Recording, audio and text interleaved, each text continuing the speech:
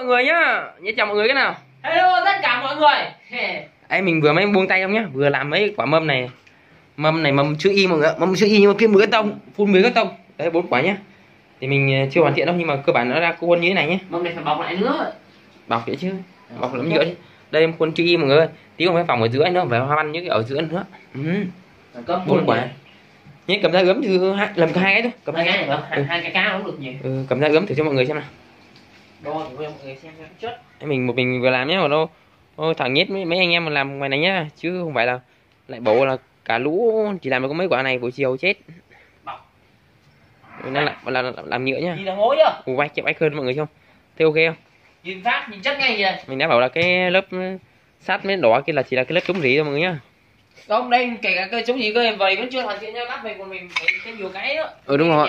phải thêm đấy đấy nó chỉ cơ bản đấy mình còn phải vào mình ít lát nó lát nó khó làm xong cái cái mâm này mấy ông này bảo là làm bằng giấy thì làm được ờ, làm tích sự gì ấy nhỉ? Ừ.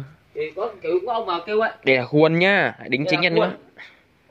thì có ông vào bảo lại lại làm, làm bằng giấy thì ờ, hai hai hôm thì hỏng này vừa làm xong tại chỗ nhá chứ không phải là thì nó quay ra làm xong nhất mình chứ quay video này có edit đâu chỉ quay lên để thông báo với anh em là vậy thôi nhá. Chưa thực ra chưa vừa mới làm xong á.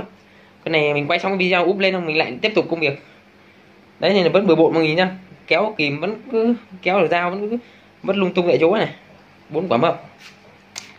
Trông ok Ừm. đấy mọi người bốn quả mâm chữ y nhá.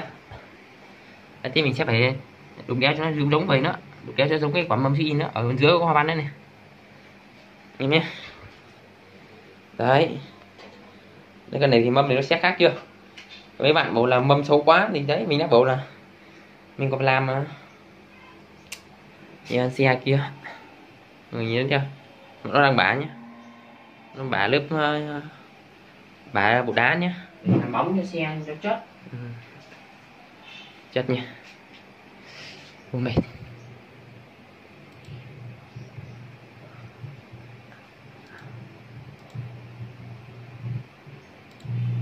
Đấy để kênh người nhá. Anh em mình yêu quý anh đó anh em anh biết kênh này không nhỉ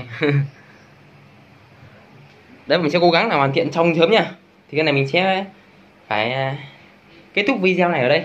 Để lại tiếp tục quá trình à, đồ lại nhé ok anh em không anh em nếu mà thấy ok cho xin một like một comment là ok nhá. Đấy vừa làm xong úp lên cái này úp chỉ khoảng độ à, 2 phút là úp thẳng căng lên luôn kênh anh em xem luôn nhá. Chứ không phải là video từ bao giờ đâu. Không nghe edit luôn.